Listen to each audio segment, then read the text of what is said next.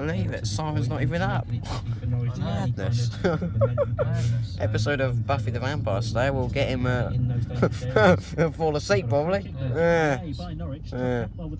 And uh, tell him to buy Transformers off eBay and all. And say you spent enough as it is. Oh, dear. It is Right. Well, it's not off to a good start, is it? Nope. Ten minutes to go to half Not really. it's 12:51 as it is. It's got to go to work at three, so. Ah, Jordan Rhodes. Oh dear. About a moment ago. So it is. that Last Sheffield Wednesday Yeah. break. Plays the ball down to Gibson, who completely misses it, and he's lucky that Rhodes wasn't closer to him. It has gone through to Krul. Oh my god. It's a nice day today though, isn't it? Gibson and then Hanley Seems like really nice. line. Here's the Yeah, skipper, it looks quite nice out there. Hanley You've got your mask. stops.